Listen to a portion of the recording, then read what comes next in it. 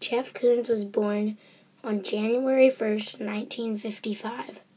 Today, Jeff Koons is 64 years old. He was born in York, Pennsylvania.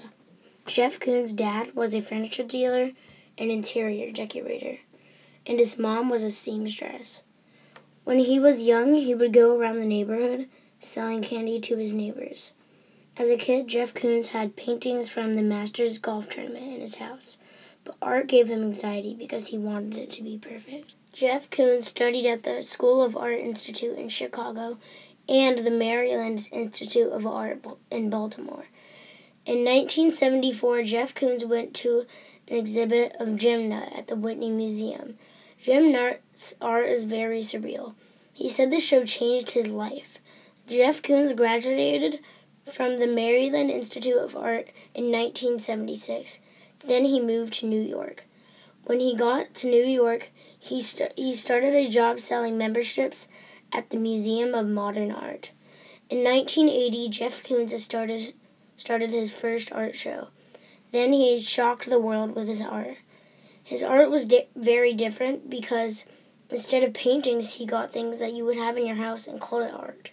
In New York, Jeff Koons made a studio. At the studio, Jeff Koons came up with ideas of sculptures, and his employees his employees made them. Jeff Koons made many sculptures of commercial objects like cool like pool floats and Play-Doh. They looked like normal things you'd see, but their scale was big. He also made his sculptures very shiny. He had a series of art where he just got vacuums, basketballs, and even toilets.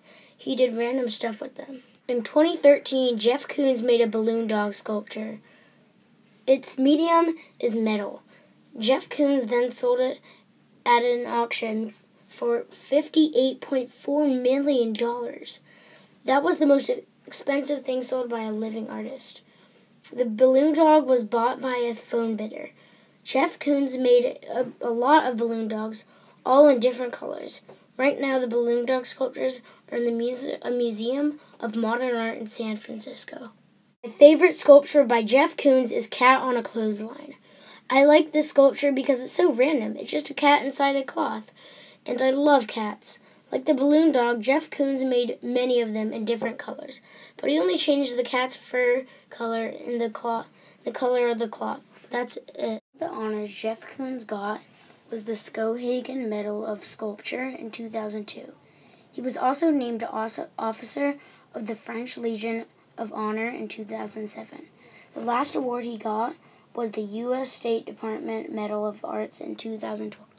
What is Jeff Koons' life so far, and how he's doing as a sculptor? I hope you liked it.